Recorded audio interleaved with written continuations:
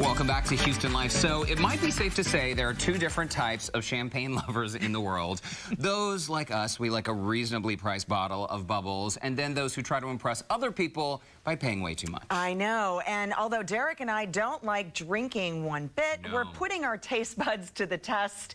Can we taste the difference between a splurge versus a steal? Ooh, this is a good game. It is a really good game. We're going to see. We have sommelier Andres Blanco from Caracol, who's with all the goodies. And welcome to the brand new season of Houston Life. Hola, hola. Congratulations. Yes. Thank you. Very excited to be here.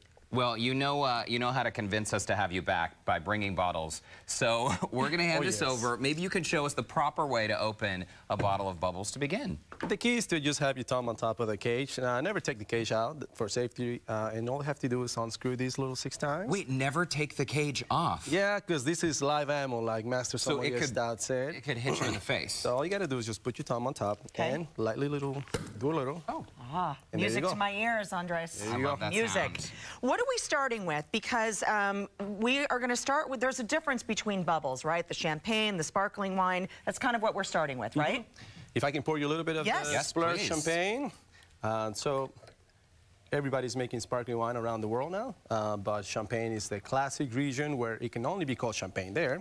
Uh, traditionally made, you know, double fermentation, super full body, very creamy. And there's Tastes- nothing wrong with sparkling wine, by the way, right? Because it, it used to be that if it wasn't champagne, ugh, you don't want it. But that's baloney, right? There's a lot of other countries that are making some top quality sparkling wines, including uh, Italy, uh, Spain, and of course America. Mm. So this is the uh, Larmandier uh, Bernier, if you can put that there. So this is a grower. This is a grower champagne. So it's limited limited production. Uh, very a lot of attention to detail because the grower himself is making the wine versus other wineries that buy the grapes and make it in large production. So This is a beautiful. this is 100% Chardonnay, Mm. and it's so refreshing, creamy. It also seems 100% expensive, though. Am I seeing correctly? The price here is $70? Yes, this is Holy a little bit of a splurge. so but that's the still- splurge. Okay. Which that's still a good deal for a grower champagne. Uh, you can find these in a couple of great stores here in Houston, uh, especially uh, Houston Wine Merchant, which they have such a great access to a lot of distributors, and you can get your hands on this champagne. Okay, and the next one is Taittinger. The next one is Taittinger, phenomenal house, large tradition. Uh, this one, they make it uh, champagne in larger production,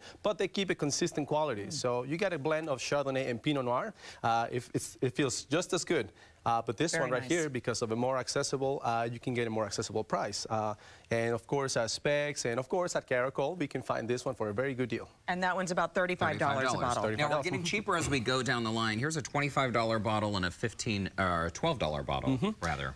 So this is Prosecco. Prosecco is from Italy. It's a little bit less complex than Champagne because they only ferment it once, big tank, and it's just supposed to be like a light, refreshing, easy to drink, nothing really huge about it, but it's still a great deal. That is good. A little too easy to drink. Yeah, delicious. less effervescence, maybe. Yeah, less effervescence because it's not double fermented like Okay. champagne. Uh, you still, it gets a little more fruitier. So if people like it a little bit more fruitier, less uh, easier to drink with some nice Bellini or a great mimosa, Okay. Prosecco can be the great deal. Uh, most of Prosecco it's on a uh, it's a steal uh, and a good bargain. But uh, Carpene is the one of the oldest Prosecco producers.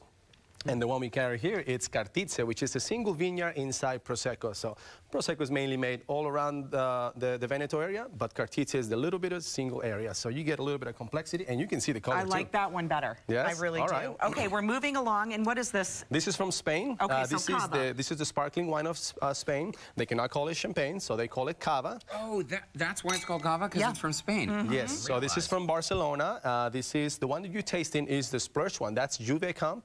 It's a, uh, lot of tradition, lots of history. This is also Ooh. made in the same champagne method. So you can see the creaminess, the color yes, too. Yes, the color's different. And you can see the bubbles keep going up and down. Lots of creamy, lots of green apples, very, very refreshing. This is a rosé. It's made with a Spanish local grape, uh, red one. Cheers. Raventos is one of the most historical since 1497. Manuel Raventos was the one that invented the term cava and started creating the traditional method sparkling wine in Barcelona. And by the way, $12, $12. a bottle for that one. Really great. Lori really Riley, great $12 dollars. Really great deal. So you can get this great alternative to champagne for your everyday uh, uh, life. I love it. Okay, we've got to move along. What is this one? This one is the uh, one of the most respected wineries of uh, Sonoma. Okay. This is Schramsberg, one of the oldest also too traditional method too. This one has really put American sparkling wine on the map because Schramsberg has a lot of great reputation, same great alternative hmm. to champagne. And look at the price, and you can find these at all the great local stores. Okay, we're And testing to so see we which need one to we like guess better, which right? one is more expensive here? Yes.